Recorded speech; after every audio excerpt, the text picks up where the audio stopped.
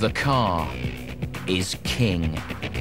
In the last 30 years, the number of cars on the road has trebled, and more cars means more accidents.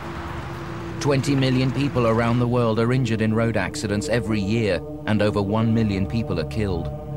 That's equivalent to the entire population of Barcelona. But amazingly, although the number of accidents is going up, the number of deaths is actually going down. In the past 30 years, they've reduced by half, thanks in large part to one ingenious device, the airbag. The idea of an airbag seems simple enough, but in fact it's an incredibly sophisticated mechanism. From the moment of collision, the airbag has only 50 thousandths of a second to inflate and stop the driver being hurled through the windscreen. That's a quarter of the time it takes for a hummingbird's wing to beat once. But that's not all. If it doesn't then deflate within just two tenths of a second, the airbag itself might kill the driver. So how do you get an airbag to inflate at supersonic speed? How do you prevent a solid airbag from killing the person it's supposed to protect? And how do they know when to go off? How do they do it? Vårgårda in western Sweden is the home of Autoliv, the world's leader in airbag technology and production. It makes airbags for almost every car on the international market, three and a half million of them each year. But the designers and manufacturers aren't the only heroes at Autoliv. Hidden away is a team of specialists without whose sacrifice airbag development would be impossible. Deep in the heart of the building, a dedicated band of operatives do their job without any thought for their own personal safety. Without moaning, this lot will take everything thrown at them. Ouch! It's a pity to treat them so roughly because these dummies are themselves massively complicated machines, costing a staggering $180,000 each.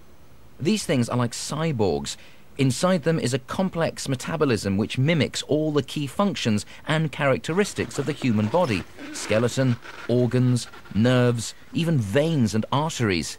And they're also crammed with thousands of sensors to record and relay exactly what happens to a human body in a serious car accident. It's even worse when you can see what's coming.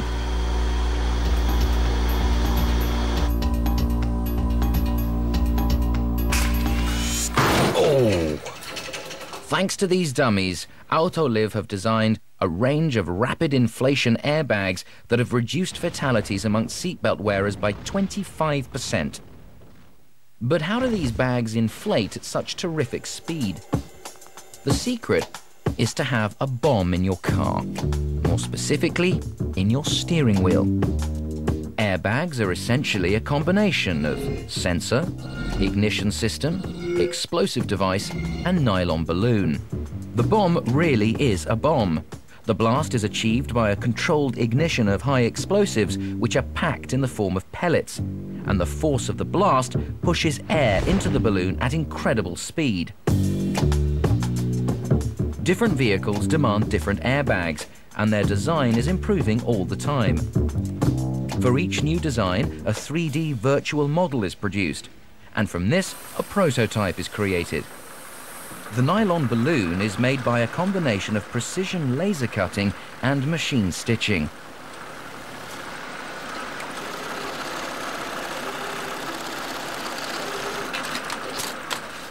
Before the crash test dummies can be exposed to the airbag, the airbag itself has to be tested. A steel weight is driven into the steering wheel to ensure the bag can repel the force of the average body at over 40 kilometers per hour. Once the test is completed, any faults are modified by design technicians. Lives depend on the design of these airbags, so every aspect is examined again and again and again. The problem they found here is that the airbag doesn't deflate quickly enough.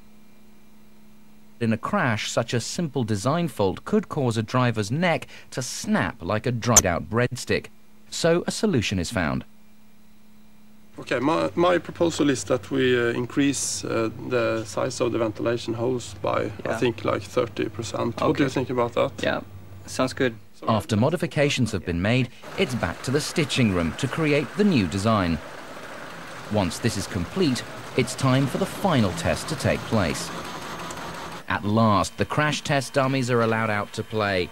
But this is no Sunday afternoon drive in the country, as they're about to find out. They're lowered into position and their sensors are checked. Autoliv makes $320 million worth of airbags every year, and they can't afford for one to go wrong.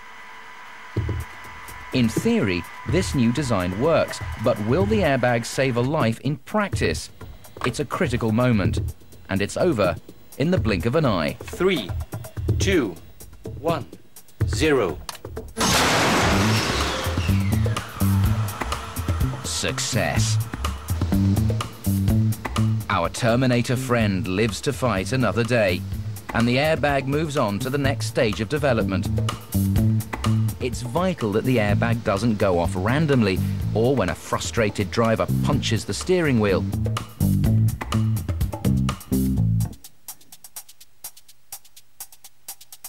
The problem is to get it to fire at the right time. So how does an airbag know when to go off? There is a sensor on the left side, here, 10 centimeter in, and another one here, and 10 centimeter in here. In the event of a crash, these sensors relay information instantly to a central control box inside the car. And then the signal goes from the box here up to the airbag, and you have a deployment. And all these things are happen in a fraction of a second. But even when the sensors activate the airbag at the correct moment, there's another problem. The airbag is housed in plastic.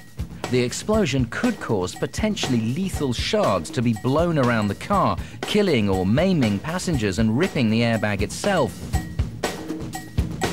The ingenious solution is only visible at 1000 frames per second. Each airbag compartment has a front section that is slightly weakened by a series of minute holes, too small to be seen. This weakened casing then ruptures during a collision, allowing the airbag to expand, but ensuring the plastic stays in place. At this speed, we can also see how the ventilation holes enable the airbag to deflate rapidly to save the driver from head and neck injuries. So, following extensive tests, the airbag can finally go into production on this assembly line. The finished airbags have the explosive device added. This is then bolted into place.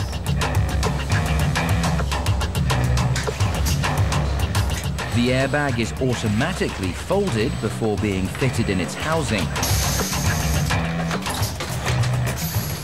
This housing is then placed within the steering wheel compartment. And another airbag is ready to make another driver that much safer.